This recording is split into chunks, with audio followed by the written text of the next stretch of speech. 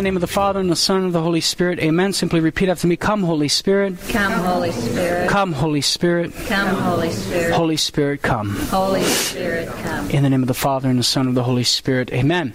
Okay, so we're going to pick back up with clue number four uh, that suggests the uh, the theme of judgment on Jerusalem with the blowing of the seven trumpets. Now, in clue one through three, we simply looked at various parallels between the plagues in the blowing of the trumpets in Egypt and the plagues in Jericho, etc.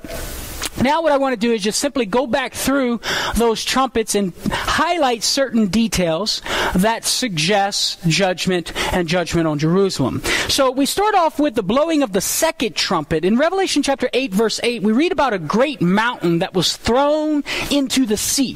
So, you have the image of mountain being engulfed by the sea. Now, I'm going to suggest to you that that imagery signifies judgment on Jerusalem by a foreign nation. Why? Well, first of all, the mountain, the image of the mountain would call to mind Jerusalem because Jerusalem is set on Mount Zion. Uh, the base mountain is Mount Moriah, but then Zion is one of the smaller hills in the Moriah range. But the idea or the imagery of the mountain, the mountain of God, for the Old Testament was Sinai, but for the New Testament, for the New Covenant, Zion. Did I say Sinai or Zion a while ago? I said Zion for Jerusalem? Okay. Sometimes I can kind of mix those up. But yeah, so Jerusalem is on Mount Zion. So the mountain of God would call to mind Jerusalem, right? Mm-hmm. Now, remember, what did we say about the sea? What does the sea represent? Gentile nations. Once again, remember Daniel chapter 7 the whole chapter, the four beasts coming from the sea, symbolizing Gentile nations, Psalm 65, uh, the roaring of the seas associated with the tumults of the nations. So the sea symbolizes Gentile nations. So you have sea engulfing a mountain i.e., Gentile nation engulfing Jerusalem. That is, a Gentile nation destroying Jerusalem, which would indeed take place in 70 AD when Rome, a Gentile nation, destroys Jerusalem. So we see this imagery of the mountain being swallowed up by the sea, paralleling Rome destroying Jerusalem. Now, when we look at a particular detail from the second trumpet and the fifth trumpet put together, it calls to mind a prophecy of Jeremiah. In Revelation 8 8, with the blowing of the second trumpet, we read about the mountain that's being engulfed by the sea, burning on fire, right? So a mountain burning with fire. But in the blowing of the fifth trumpet in Revelation 9 7, we read that the locusts were like horses arrayed for battle. Okay? So when we put these two images together, mountain on fire, locusts like horses arrayed for battle, we find these two images together in Jeremiah chapter 51 when he is prophesying about the ensuing destruction that would come on Babylon. Remember that enemy of God that took the southern Israelites into captivity? Well, Jeremiah would prophesy that Babylon would eventually be destroyed because it was the enemy of God, uh, incurring judgment upon itself. Okay, so here's what Jeremiah says about the destruction of Babylon. Thus says the Lord Behold, I will stir up the spirit of a destroyer against Babylon. That sets the context. I will stretch out my hand against you and make you a burnt mountain. Blow the trumpet among the nations. So there you have the blowing of trumpets. Prepare the nations for war against her. Bring up horses like bristling locusts. So in Jeremiah's prophecy about the destruction of Babylon, you have a burning mountain, you have trumpets being blown, and you have locusts looking like horses. What does John see in the blowing of the second trumpet and the fifth trumpet? A mountain that's on fire in the midst of trumpets being blown and locusts looking like horses. And so the interpretive application obviously is that Jerusalem is the new Babylon and will be destroyed like the Babylon of old. So, so far, we've seen Jerusalem once again as a new Sodom, a new Egypt, a new Jericho, and now a new Babylon. It has become an enemy of God, thus incurring judgment upon itself. In the third, the blowing of the third trumpet, In Revelation chapter 8, verse 11, uh, we discover something very interesting, which unfortunately I don't know very much about. But here we go. The third angel blew his trumpet, and a great star fell from heaven, blazing like a torch, and it fell on a third of the rivers and on the fountains of water. The name of the star is Wormwood. A third of the waters became wormwood, and many men died of the water because it was made bitter. Now, I don't know in detail the origin of this term wormwood, etc., but I do know this.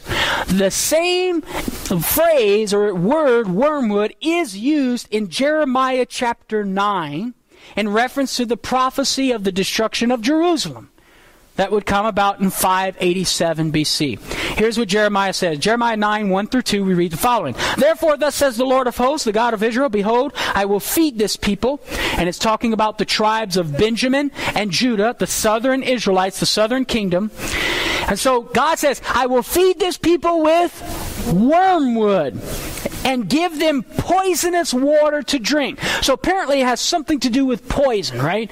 Making waters bitter. Verse 16, I will scatter them among the nations whom neither they nor their fathers have known, and I will send the sword after them until I have consumed them. So, John has a vision of the star being named Wormwood. The waters became wormwood, and many men died from drinking the water. So, wormwood having to do with some sort of poison and making the water bitter. Jeremiah, in prophecy of the destruction of Jerusalem, has a vision about the water becoming wormwood, right, and becoming poisonous and bitter to drink. And so, John, like the, with the prophet Ezekiel, like Daniel, once again, John is having a vision that parallels Jeremiah's vision about the destruction of Jerusalem. So, I would suggest to you, once again, that John's vision hopefully you're not getting tired of this same motif over and over and over again, right? It's like a broken record or something. Uh, but these are what the details suggest. So once again, John's getting a vision of the destruction of Jerusalem. We come to the fourth trumpet.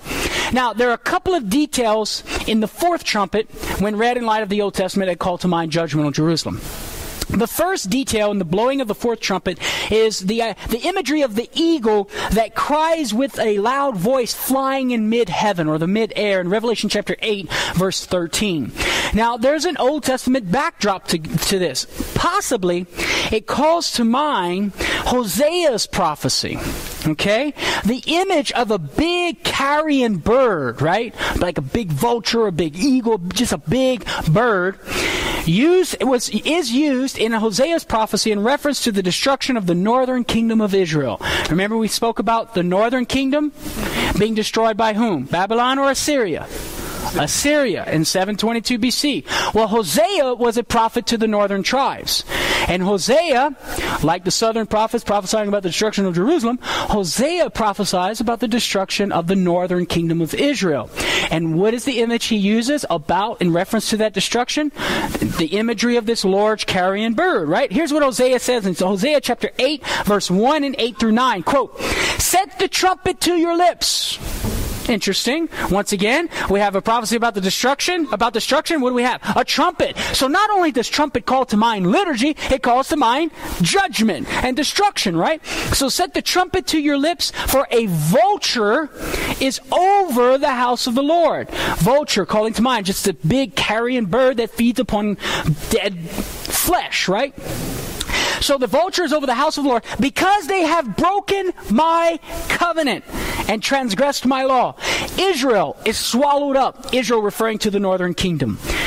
Um, already they were among the nations as a useless vessel, for they have gone up to Assyria. So Hosea associates the image of a big carrion bird that feeds upon flesh in relation to the northern kingdom being destroyed, taken into captivity by a foreign nation, right? And so we come to John's vision. What does John see? He sees this big carrion bird flying with, crying out with a loud voice, flying in the midair. So the interpretive application is that Jerusalem is about to experience in the south what the northern kingdom experienced in the north. What happened to the northern kingdom, Israel, taken into captivity by a foreign nation, right, will eventually take place in 70 AD once again for Jerusalem. Okay? All right. Detail number two, we have the woes pronounced in Revelation chapter 8, verse 13. Woe, woe, woe to those who dwell on the earth at the blast of the other trumpets which the three angels are about to blow. So we have this proclamation of woes. What would this call to mind? Well, it doesn't necessarily call to mind something from the Old Testament, but it does call to mind Jesus' ministry and his preaching and his prophecy about the destruction of Jerusalem in Matthew chapter 23, which would go on into verse 20, into chapter 24. We find a sevenfold, we find a series of sevenfold woes on the Pharisees prior to his foretelling about the destruction of Jerusalem, right? So in Matthew 23, you have this sevenfold woes following the narrative. Jesus prophesies about the destruction of the temple in Matthew 24, 1 through 2, saying how not a stone will be left standing. Then later in chapter 24, he's talking about the sun being darkened, the moon losing its light, the stars falling from the sky, which we know already, signifies that the time is up for a particular world order. It signifies destruction and judgment coming upon a particular kingdom. In that case, it would be Jerusalem. Okay? So the interpretive application, once again, John's prophecy is the same as Jesus' prophecy the destruction of Jerusalem. You see, as I said last in our last lesson, what John, uh, what Jesus prophesies about in just a chapter and a half or two chapters, John writes a whole book about. You see? So John's vision is pretty much like a commentary on Jesus' teaching and prophecy about the destruction of Jerusalem within a generation. Remember, Jesus said that. Okay, now we come to the blowing of the fifth trumpet. Uh, there are a few details here that are significant. And what we find is that the description of the locusts, remember the fifth trumpet is blown, John sees locusts arrayed for battle like horses, right? So John sees the locust. Now, the way John describes the locust seems to parallel Joel's prophecy about the destruction of Jerusalem in 587 BC. Okay? So let's look at some of these parallels between John's vision of the fifth trumpet being blown in the locusts and Joel's prophecy in the Old Testament about the destruction of Jerusalem in 587 BC. First parallel. Revelation 9 7, they were like horses arrayed for battle. What does Joel say in Joel 2 4? The locust's appearance is like the appearance of horses, and like war horses they run. Okay? An accident? I don't think so. Revelation 9 8. The locust's teeth were like lion's teeth. How does Joel describe the locust in Joel 1 6? Its teeth are lion's teeth, and it has the fangs of a lioness. In Revelation 9 9, they had scales like iron breastplates, and the noise of their wings was like the noise of many chariots with horses rushing into battle. Joel 2, verses 5 and 7. As with the rumbling of chariots, they leap on tops of mountains like a powerful army drawn up for battle. Like warriors, they charge. Like soldiers, they scale the wall. Similar description here. So, once again, the interpretive application is that God's judgment will come upon Jerusalem by a foreign nation like it did for Jerusalem in 587 BC. Okay? So, yet another prophet that we see that we must read John in light of. We must read John's vision in light of Ezekiel's prophecies, John's vision in light of Daniel's prophecies, John's vision in light of Jeremiah's prophecies, John's vision in light of Joel's prophecies. This is prophetical literature, you see? And so you have to read it within the same tradition that the prophecies come of old. The blowing of the sixth trumpet, couple of details here. Uh, the first detail I'd like to highlight in the blowing of the sixth trumpet is uh, in Revelation chapter 9, verse 20, we read about idols of gold and silver and bronze and stone and wood, right? The, we read the rest of mankind who were not killed by these plagues did not repent of the works of their hands nor give up worshiping demons and idols of gold and silver and bronze and stone and wood which cannot either see or hear or walk okay that's in revelation 9:20 now the old testament backdrop for this possibly is Daniel's prophecy about the destruction of Babylon. Okay, now remember we said Jeremiah prophesied about the destruction of Babylon, so does Daniel. Here's what we find in Daniel 5:23. You have praised the gods of silver and gold, of bronze, iron, wood, and stone, which do not see or hear or know, but the God in whose hand is your wrath, and whose are all your ways you have not honored. Close quote. so when in Revelation 9:20, John describes the idols in the very same way that Daniel described the idols in Daniel 5 and, in prelude to the destruction of Babylon that would take place in the um, 6th century BC. So the application to John's vision obviously is that once again Jerusalem is a new Babylon, right? And will be destroyed as such for its idolatry. Well, what was the idolatry of the first century Jews? Their idolatry was what, what, what, what might you call to mind when you think of gold and silver and wood? The temple. That's right. They put the temple before the true temple, God made flesh, Jesus Christ. And consequently, they're found guilty of idolatry. And like the Babylon of old, they will indeed incur judgment upon themselves. Listen to what one scholar writes. Uh, let's see if I have it on the PowerPoint here. No, I do not. Listen to this. In the same way, Jerusalem, the new Babylon, is about to be destroyed. In the Old Testament, the Babylonians came and destroyed the temple in Jerusalem. The corrupt leaders of Jerusalem, um, the corrupt leaders of Jerusalem in the new Babylon destroyed the body of Christ, the true temple. They preferred an earthly temple made of silver, gold, bronze, iron, wood, and stone to the true temple, Christ. Close quote. You see that? So, Interesting that the first century uh, Jewish community is identified as being guilty of idolatry because putting choosing the earthly temple over and above and before the true temple, Jesus Christ. The second detail with the sixth trumpet is the eating of the scroll. In Revelation 10 9, uh, the angel told John, uh, he says, uh, uh, see, so I went to the angel and told him to give me the little scroll, and he said to me, Take it and eat. It will be bitter to your stomach, but sweet as honey in your mouth, right? So John is given this instruction to eat the scroll. Well, this obviously directly parallels Ezekiel's eating of the scroll in Ezekiel chapter 3, verses 1 through 3 and verse 14. And Ezekiel has to eat the scroll, so to speak, prior to the destruction of Jerusalem in 587 BC. Here's what we read Son of man, eat what is offered to you, eat the scroll, go speak to the house of Israel, for they are a rebellious house.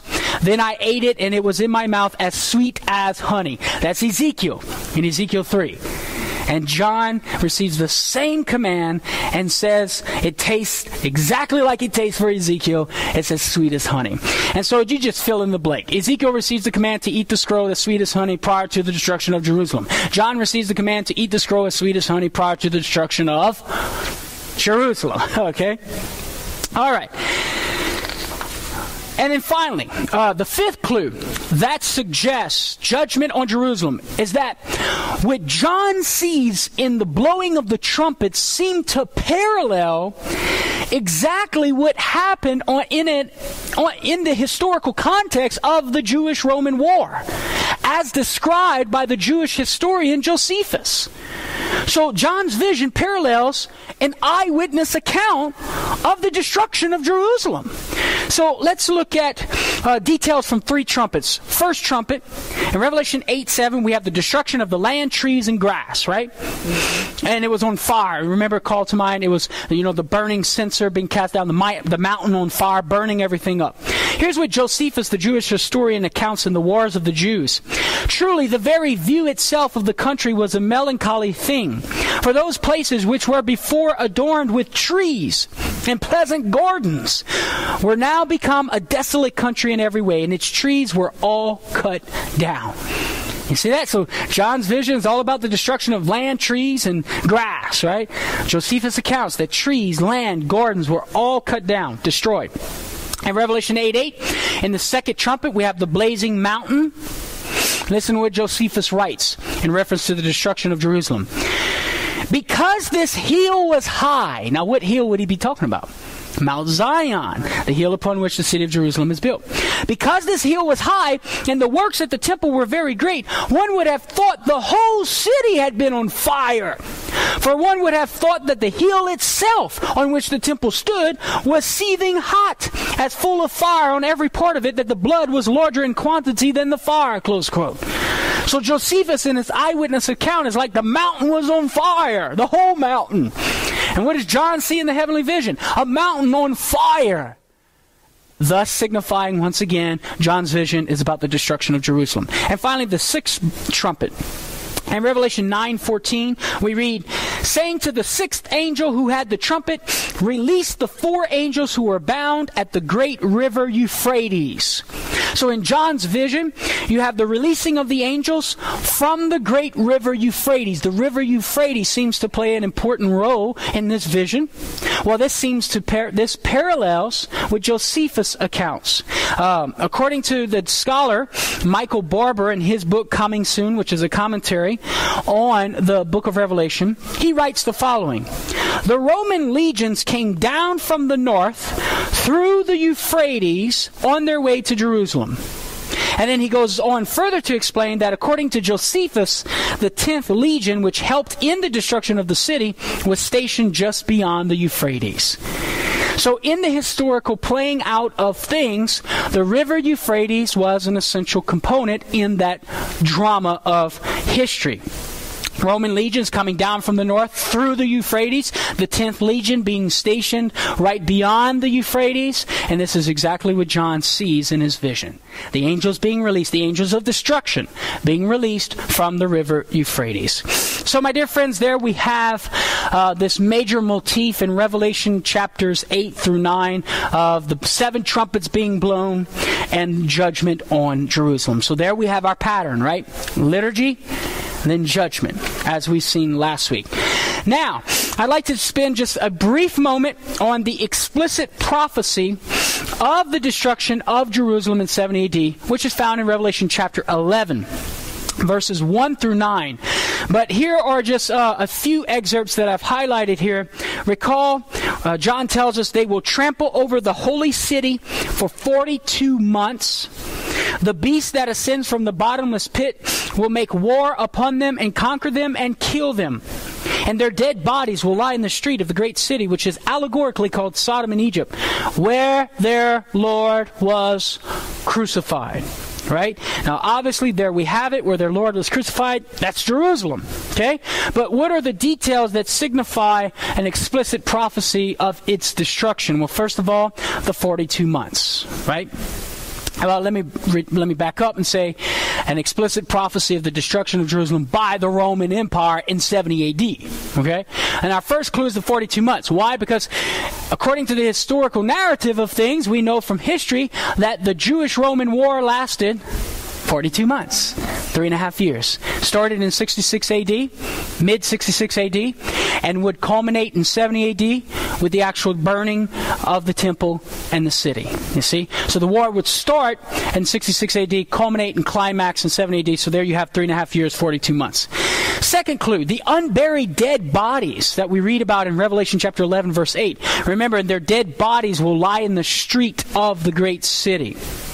Now, what's interesting is that this imagery of unburied bodies seems to call to mind Psalm 79, which actually is a psalm that describes the ruins of Jerusalem uh, with, when it was destroyed with uh, unburied bodies. Now, it's describing the destruction of Jerusalem in the Old Testament, right? In 587 BC, remember that? Okay? This psalm is describing the ruins of Jerusalem, and with the image that's associated with it is unburied bodies. So here we go. O God, the heathen have come into thy inheritance. They have defiled thy holy temple, right? What it's referring to? The destruction of the temple in 587 BC. They have defiled thy holy temple. They have laid Jerusalem in ruins. They have given the bodies of thy servants to the birds of the air for food, the flesh of thy saints to the beasts of the earth. They have poured out their blood like water round about Jerusalem, and there was none to bury them. Close quote.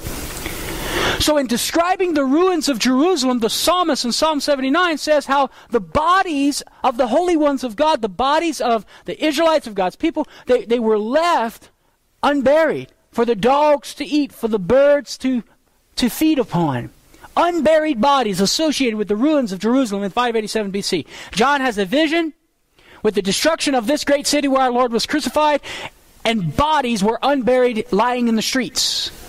Hint, hint, Jerusalem's, Jerusalem's going to be destroyed like it was in 587 BC. Finally, the third clue is that the city shall be called allegorically Sodom, right? In Revelation 11 8. Well, guess what? When Isaiah is prophesying about the destruction of Jerusalem that would eventually take place in 587 BC, Isaiah calls the rulers of Jerusalem the rulers of Sodom. In Isaiah 110, Hear the word of the Lord, you rulers of Sodom. Give ear to the teaching of our God, you people of Gomorrah. So Isaiah implicitly implies, right, Jerusalem to be referred to as Sodom in his prophecy. John refers to this great city where our Lord was crucified, Jerusalem, as Sodom. So this vision of John is to be seen in the same tradition as the prophecy of Isaiah. Jerusalem will eventually be destroyed. Amen? Okay, so we see once again an explicit prophecy that Jerusalem is about to be destroyed by a foreign nation, which parallels the historical narrative of Jerusalem being destroyed by Rome in 70 AD. Now, we come to the great woman of Revelation chapter 12, right? Now we're going to have some fun here, okay?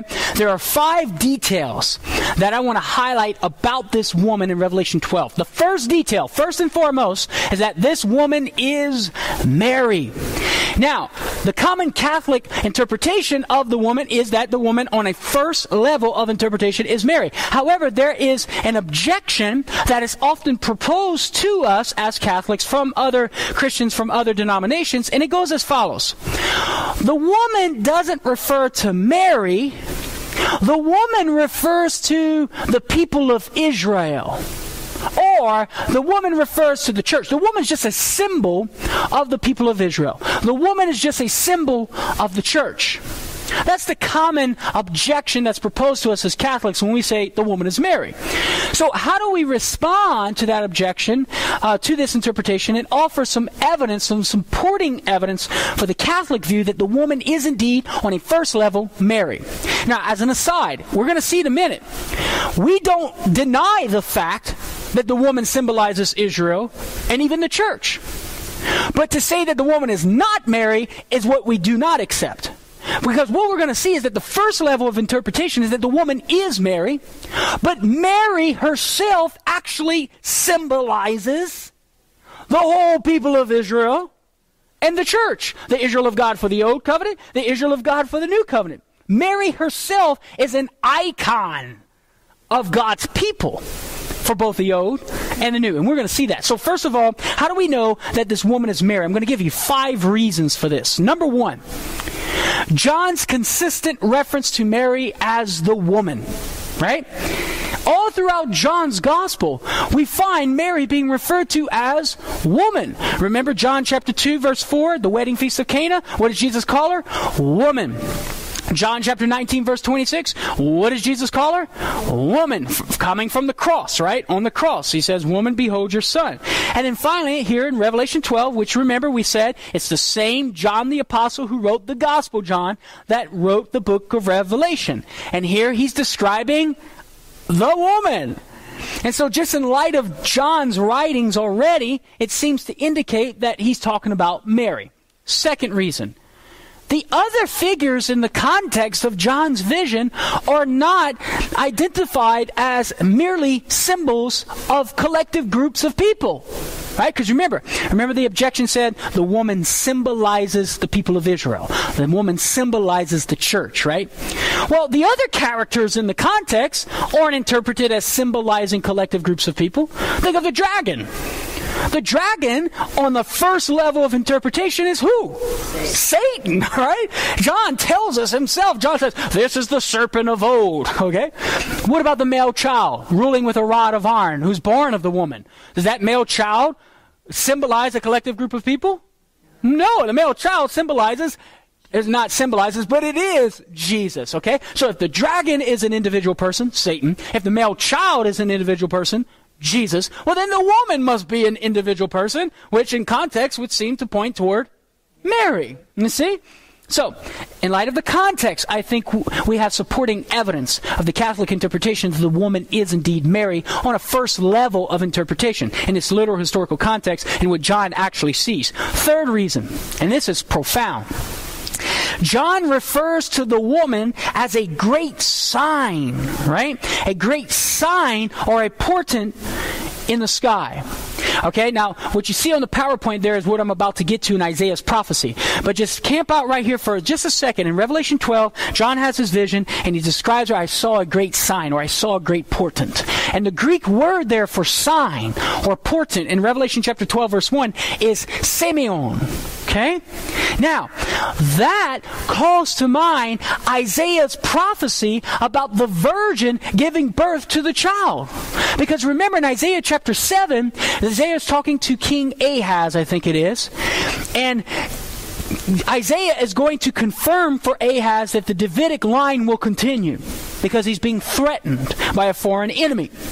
And we, Isaiah, in Isaiah chapter 7, we read, Therefore the Lord himself will give you a sign. In the Greek version of Isaiah 7, the Greek word is semeion. Behold, a virgin shall conceive and bear a son, and shall call his name Emmanuel, right? Now, Matthew, in the Christian tradition, in Matthew chapter 1 verse 23, St. Matthew identifies that woman of Isaiah 7:14 in whom? Mary, right? So in the Christian tradition, Mary is the virgin woman prophesied about in Isaiah 7:14. Okay? Now we come back to John's vision. John sees the woman, right? And he says it's a great, she's a great sign, semeion, which immediately calls to mind the virgin mother of Isaiah 7:14, which from the Christian tradition we know to be whom? Mary. Mary. So John, like Matthew, is applying Isaiah's prophecy of the virgin mother to the woman whom we know to be Mary. You see? So it's kind of like this. Follow this. Bottom line. John sees the woman. She's a great semeion, sign. That calls to mind Isaiah's prophecy of the Virgin Mother, which is a semeion, a sign, right? Who is that Virgin Mother in the Christian tradition? Mary. So who is John referring to? Mary. Did you follow that logic there? Okay? All right, we move forward. Reason number four why this great woman in heaven is Mary. Because the woman is described as the Davidic queen mother. Note how the Davidic queen mother, okay, the Davidic queen mother. Note how John describes the woman. She has a crown of 12 stars, right?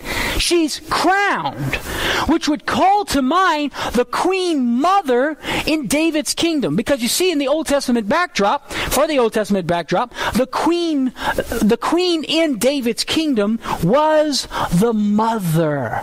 Remember Queen In 1 Kings chapter in 1 Kings chapter 1 she was the wife of King David. Okay?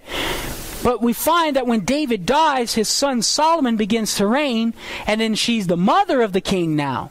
When 1 Kings chapter 2, King, Queen Bathsheba comes into the presence of King Solomon, and he prostrates himself.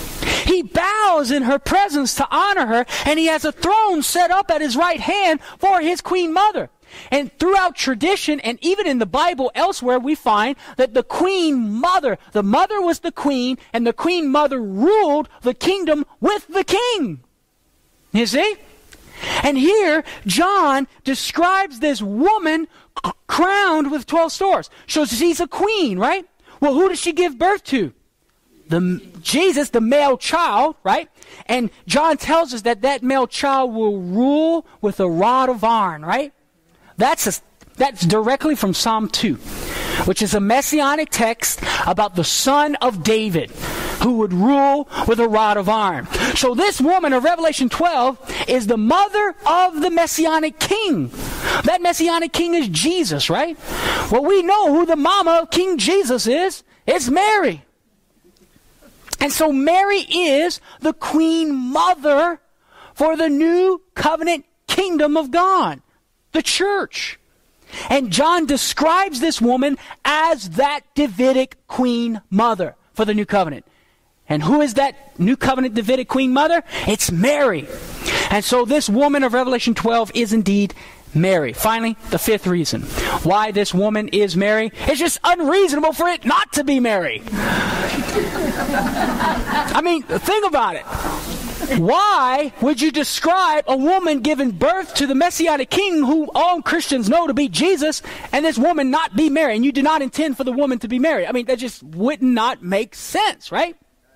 I mean, anybody who knows that Jesus is the Davidic King and you read about this woman giving birth to the king, well, then that would signify it being Mary. Okay? All right. So there we have, I think, some pretty substantial reasons uh, to support the Catholic interpretation that this woman is Mary. Now, why? Why is it so important that the woman is Mary? Well, there's several reasons, and as we begin to go to this, our second detail, we see one, at least one important reason why we know this is Mary, and that is Mary is revealed to be the new Ark of the Covenant. In Revelation chapter 11, verse 19, this is our first clue that Mary is the new ark. In Revelation 11, 19, John sees the ark in the heavenly temple. He says, Therein the temple was open, and therein I saw the ark of the covenant, right? And then he immediately begins to describe the woman when he should be describing the ark. I mean, guys, the ark had been lost for over 600 years. Prior to the destruction of Jerusalem in 587 BC, Jeremiah took the ark and he hid it. According to 2nd Maccabees chapter 2, we'll get there in a minute. But Jeremiah hid the ark, and it hadn't been seen. Nobody knew or knows even today where it was at. So think about it. Put yourself in the shoes of the Jewish people, right? The very centerpiece of your religion, the very sign of God's presence in the midst of your people, was taken away from you and was hidden, and nobody knows where it's at. It's been lost for over 600 years, and John tells us he saw it. Right? Come on, John, tell us about it. What does it look like, right? You know? Tell us about the ark, John. He starts talking about a woman. Why is he describing a woman when he should be describing the ark? Precisely because the woman is the ark. What did the old ark contain within itself? The Ten Commandments, the manna, Aaron's high priestly rod, the staff, right? The Word of God on stone, the bread of heaven, and the high priesthood. Who is this male child within the woman that John is describing? It's Jesus, the Word of God not on stone, but the Word of God made flesh. The bread of heaven not come down from heaven in the Old Testament that the fathers ate, but the true bread that comes down from heaven, the flesh of Jesus Christ. Not the Old Testament high priest, Aaron, but the New Testament high priest, Jesus. You see? So, the male child in the womb of the woman, Mary, is the fulfillment of the three items in the Old Testament ark. So this woman in Revelation 12, Mary, is the new Ark of the Covenant. And then we can spend a whole uh, lot more time talking about why Mary would be without sin in light of the fact that she is the new ark of the covenant. Because just as sin could not touch the old ark, lest a man die, check out 2 Samuel chapter 6 when you find a man named Uzzah touching that ark, and guess what? He drops dead. So just as sin could not touch the holy ark of old, so too sin, my dear friends, cannot touch the holy ark of new. You see? Now, that's a whole nother talk, but let's move forward. Clue two that Mary is the new Ark of the Covenant. The description of Mary being clothed with the sun which is, according to Isaiah chapter 60, verses 1 through 3, the Shekinah, the glory of the Lord. Okay, so John sees the woman. She's clothed with the sun. In the Jewish tradition, to be clothed with the sun and a bright light signifies the glory of the Lord. You remember the Shekinah, the glory of the Lord in the Old Testament? The pillar of cloud by day, the pillar of fire by night, right? Signifying God's presence, the glory of God, right? When the Jewish tradition, bright light, sun, is associated with that glory of the Lord. That's Shekinah. Now, the Old Testament backdrop that against which John has this vision of the woman clothed in the sun, the glory of the Lord, is Second Maccabees chapter 2, verses 5 through 8. Which remember is one, one other of those seven books that we have as Catholics, but our Protestant brothers and sisters do not. But we find something very interesting in Second Maccabees 2, 5 through 8. This is the account of Jeremiah hiding the ark. And he tells us when the ark will be found. Listen to what we, read here. And Jeremiah came and found a cave, and he brought there the tent and the ark and the altar of incense, and he sealed up the entrance. Verse 6. Some of those who followed him came up to mark the way, but could not find it. When Jeremiah learned of it, he rebuked them and declared, The place shall be unknown until God gathers his people together again and shows his mercy. So notice, the place is going to be unknown until God's going to reunite his people, reconstitute the Israel of God, right? Verse 8. And then the Lord will disclose these things, and the glory of the Lord and the cloud will appear. So, in other words, Jeremiah is saying the ark will not be disclosed until God reconstitutes the Israel of God and the Shekinah reappears. Because remember, the glory of the Lord was absent when Jeremiah takes the ark out of the temple prior to the destruction of the temple in 587 BC, the Shekinah is no longer there, right? Because once you once you don't have the ark, you don't have the Shekinah. You don't have the glory of the Lord. And even when those southern Israelites who were exiled into Babylon in captivity, when they came back to Jerusalem under Nehemiah and Ezra and rebuilt the city and rebuilt the second temple, was the Shekinah there? No. Why? Because there was no ark. But Jeremiah said that the ark would be disclosed when the glory of the Lord would reappear. And what does John see in his vision? The glory of the Lord. The clothing of the sun. The bright light engulfing this woman. Why? Because the woman is the ark. The ark has reappeared. You see, we're no longer interested in that Old Testament wooden box overlaid with gold because it is no it is void of its power. Now, would it be a cool finding? Indeed. Yeah.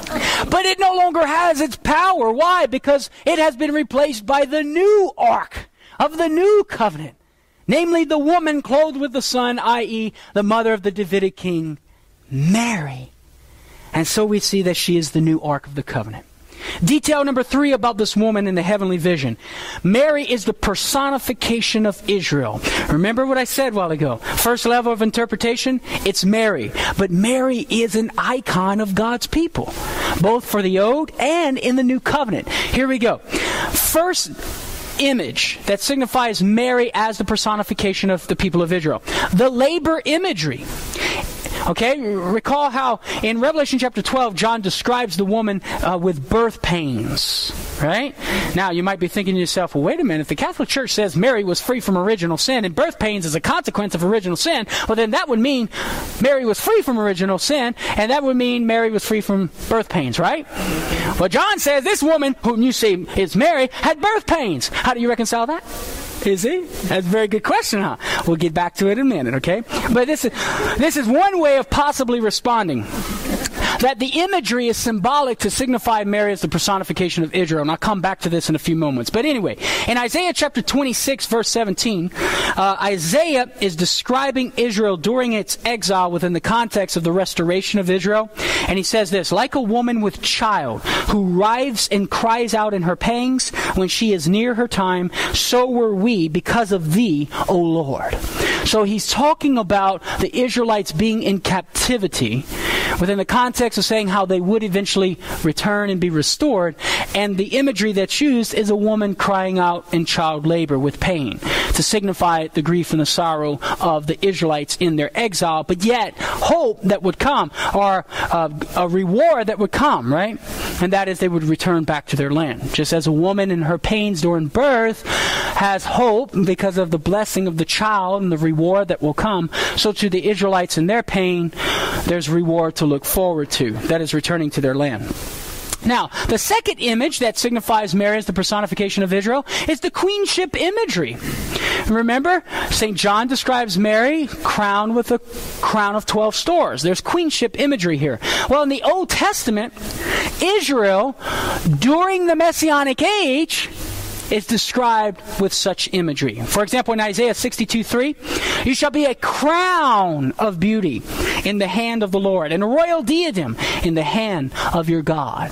So notice this queenship imagery being associated with Israel in the Messianic age. Isaiah 60 1 through 3. Arise, shine. For your light has come, and the glory of the Lord has risen upon you. His glory will be seen upon you, and nations shall come to your light, and kings to the brightness of your rising. Close quote. So in Isaiah chapter 62, Isaiah is describing Israel in the Messianic age with queenship imagery. Isaiah chapter 60, Isaiah is describing Israel in the, in the Messianic age as shining with bright light. And what does John see in regard to the woman? She's shining with bright light and she's clothed with queenship imagery. You see images. And so, thus signifying Mary personifies the people of Israel. Okay? Uh, the third imagery, the mother imagery. In Revelation chapter 12, verse 17, did you know that St. John tells us that this woman, whom we say to be Mary, has other offspring? Has offspring, it says. And those offspring of the woman are those who keep the commandments of the Lord. So those who keep the commandments of the Lord within the context are the Christian people, right? So therefore, this woman in heaven, Mary, is the mother of all Christians. And so our Protestant brothers and sisters, you know, other Christians in other denominations, Mary is their mother too. They might not know it, but she is their spiritual mother. Because to any Protestant brother or sister, friend of mine, we can simply ask them, right? Do you keep the commandments of the Lord?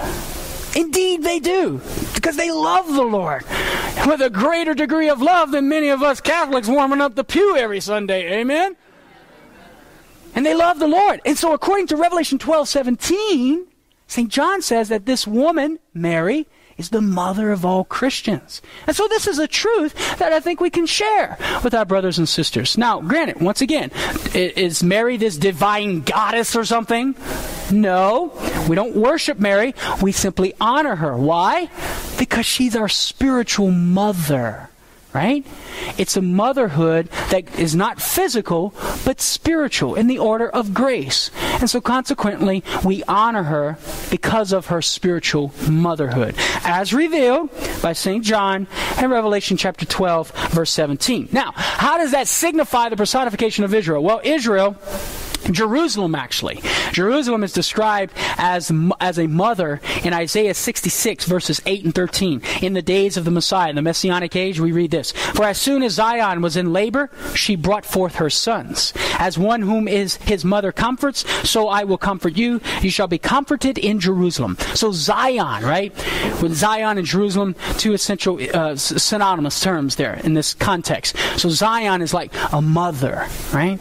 So Mary Mary is described as a mother. She personifies Zion. She personifies Israel.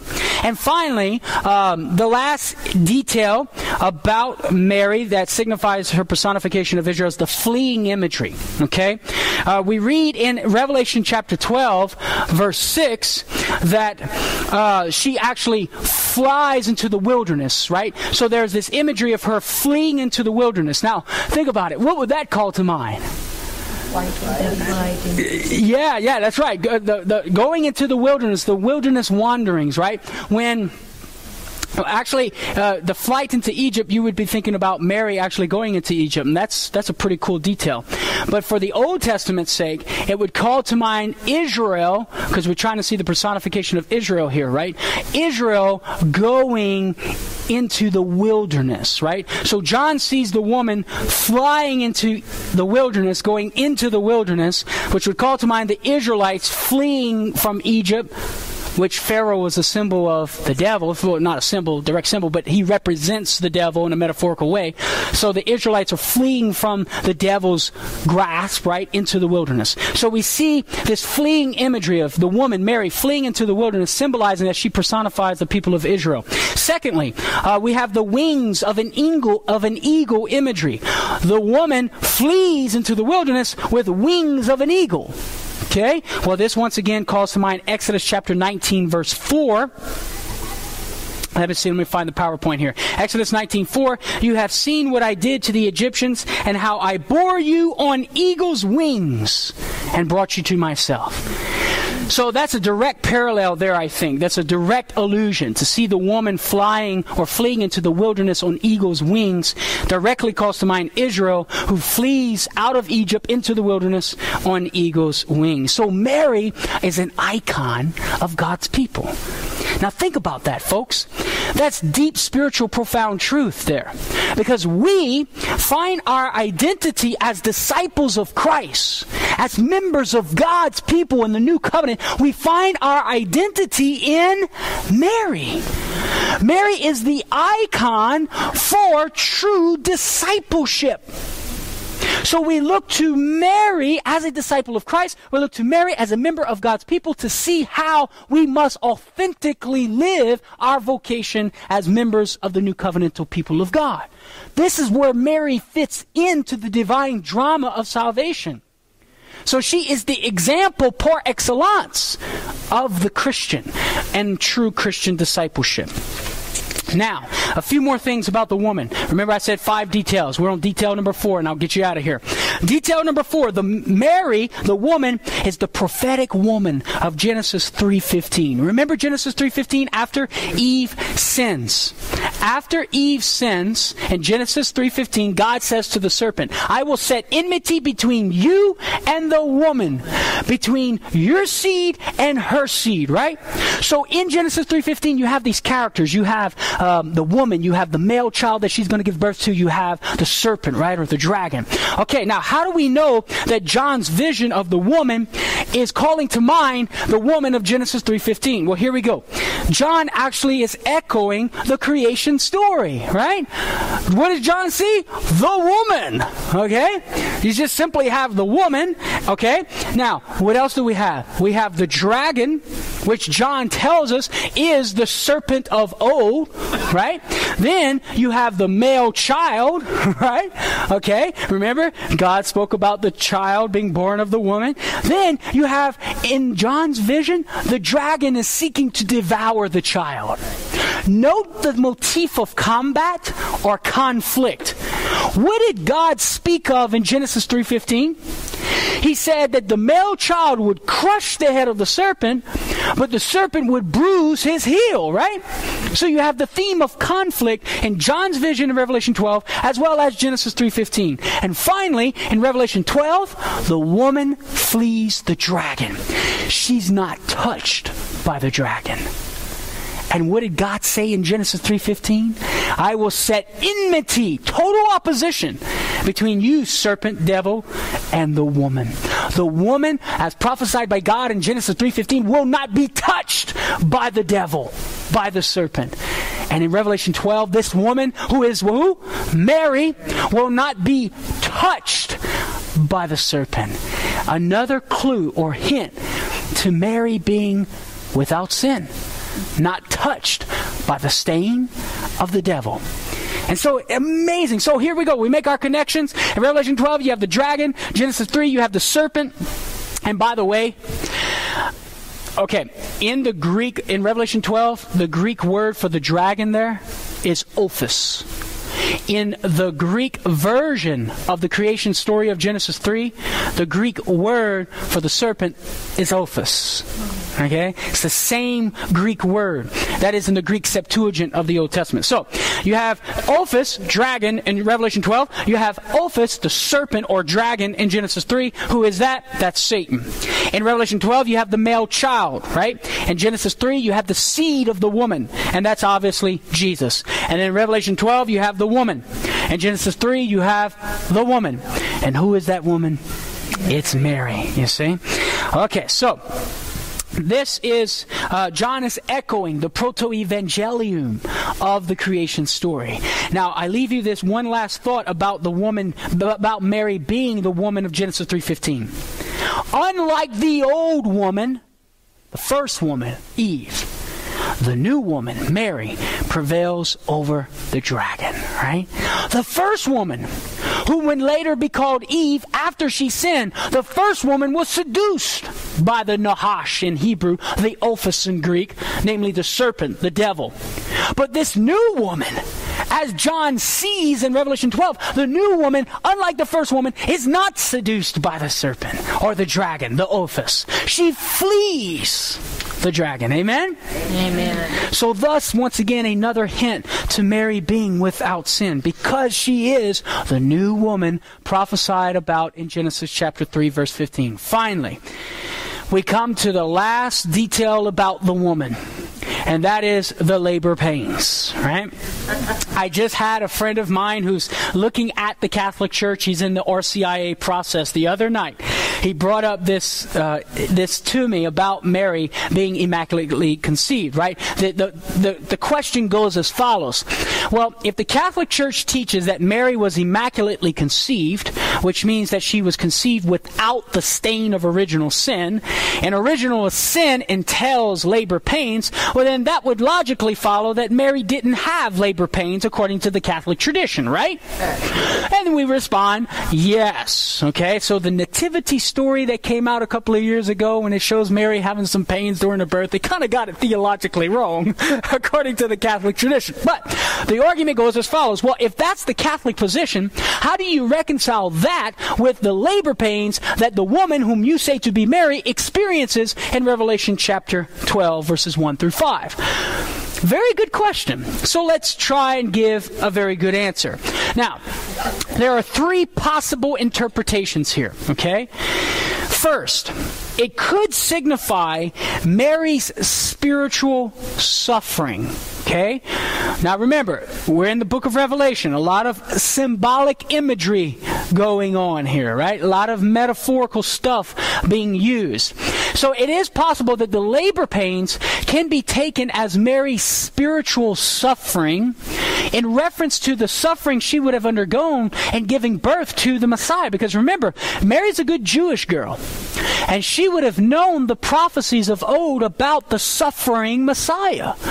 There was various Jewish groups and Jewish traditions that the Messiah to come would not only be the Davidic king, to set God's people free from Israel, but also there were traditions that understood the prophets to refer to the Messiah to be a suffering Messiah. I mean, just think of Isaiah chapter 53, right? The suffering servant of Yahweh being led to the slaughter like a lamb. We will be healed by his, uh, he will be bruised for our iniquities, and by his stripes we will be healed, right? Psalm 22 is a messianic text about the son of David who will, my God, my God, why have you forsaken me, right? Will be persecuted. His cheeks, his beard will be plucked. He will be beaten. He will be spit upon. But yet it prophesies about victory that will be given to this son of David. So there is enough evidence in the Jewish tradition that the Messiah would be a suffering Messiah. And so Mary, accepting the plan of the Father to bear the son of David and give birth to the son of David, the messianic king, right? The Messiah. That would have been knowledge, a joyful mystery indeed, but yet also a sorrowful mystery. The shadow of the cross, right there from the beginning at the Annunciation mystery. And so these, these labor pains could be seen as symbolic of Mary's spiritual suffering. And this seems to be supported in the Christian tradition because we find in two places where labor pains are associated with suffering. In John chapter 16, verse 20, Jesus uses the imagery of a woman suffering in labor pains in reference to the apostles, how they're going to get killed and their martyrdom, right? Okay? And in Galatians chapter 4, verse 19, St. Paul writes in the King James Version, and the King James Version actually gets it right here My little children, of whom I travail in birth, again until Christ be formed in you. Notice how Paul associates labor pains, uses it as a metaphor for the suffering that he endures for the people in Galatia. So in the in the Christian tradition, labor pains are used as a metaphor for suffering, for spiritual suffering. So we take that Christian knowledge into John's vision of the woman Mary having labor pains, signifying her spiritual suffering in even giving birth to Jesus Christ. Does that make sense? That's a pretty reasonable interpretation, huh? Secondly, John describes Mary with such imagery to signify the restoration of Israel, which is what I mentioned a while ago. In the Old Testament, we looked at an Old Testament text while ago, and that was, oh, where, where was it? I can't quite remember. Uh, I think it was, yeah, Isaiah chapter 26, verse 17. In Isaiah chapter 26, verse 17, the restoration of Israel is described as a woman with birth pains, right? But check out this other Old Testament text. In Micah chapter 5, verse 3, Micah describes actually the mother of the Messiah with the same imagery within the context of the prophecy of the restoration of Israel. Quote, Therefore he shall give them up until the time when she who is in travail has brought forth. Then the rest of his brethren shall return to the people of Israel. So in the prophecy of Micah about the messianic age, and supposedly the mother of the messianic king will bring forth in this time in travail. And so in order for John's vision of Mary, the woman, giving birth to the messianic king in travail, simply calling to mind the Micah prophecy that this woman is the mother of the Messiah, the male child is the messianic king, thus the prophecy is fulfilled. Finally, the third interpretation.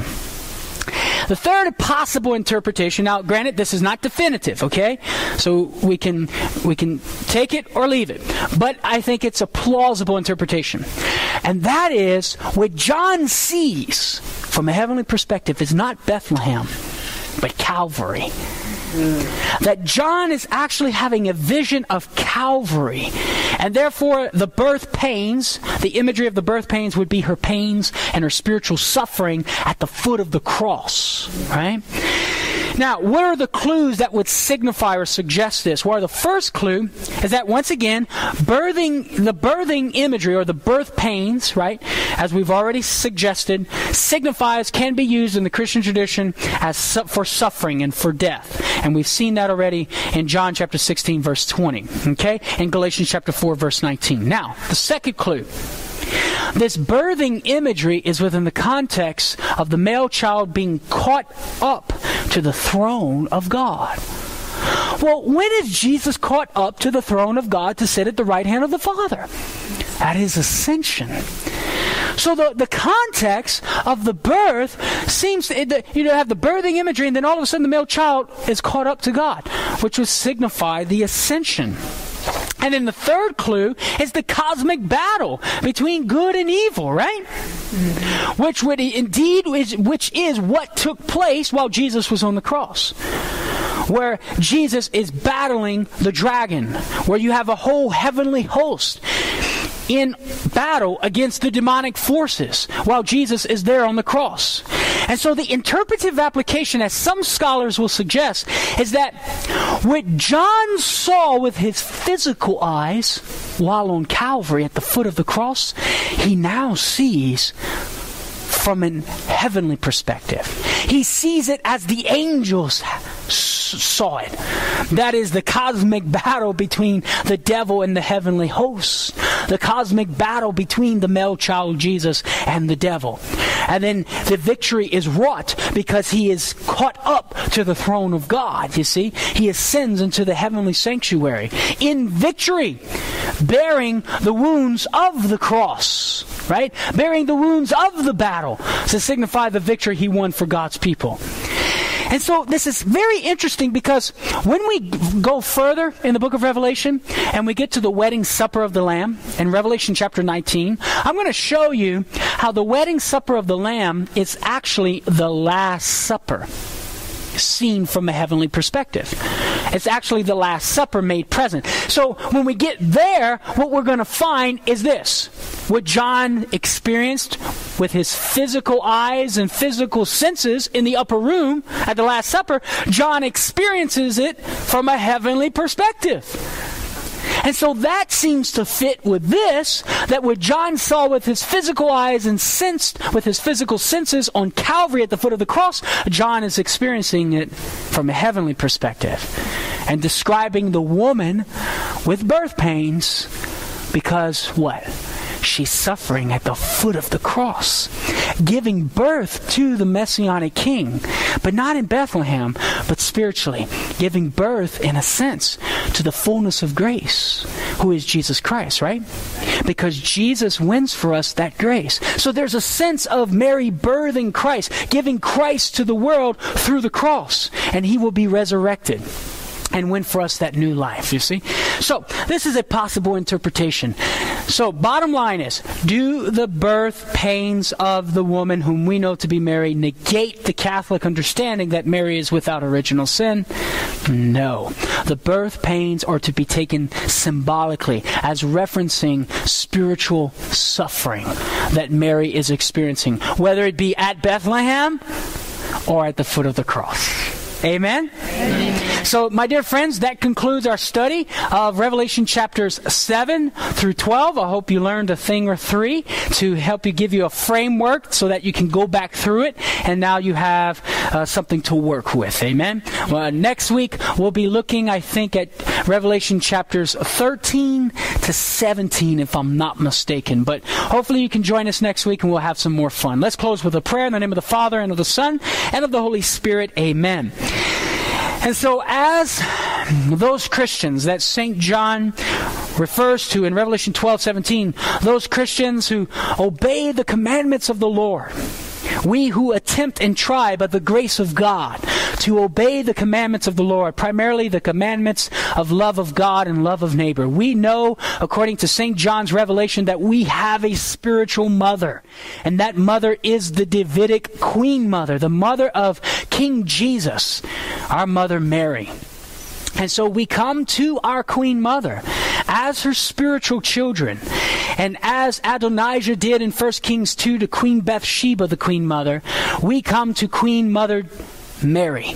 And we ask Mary to please take us by the hand and lead us to her divine Son, Jesus, as she always does and that we be consecrated to the Sacred Heart of Jesus, and that our Queen Mother Mary will teach us how to love Jesus, how to fall more intimately head over heels in love with Jesus, how to be a faithful disciple of Jesus, and ultimately Jesus who gives us access to the throne of the Ancient of Days, he will take us to the throne of the Father, and the Father will hear our, hear our prayers and grant unto us a special outpouring of his Holy Spirit. And so let us pray the biblical prayer as we pray, Hail Mary, full of grace, the Lord is with thee.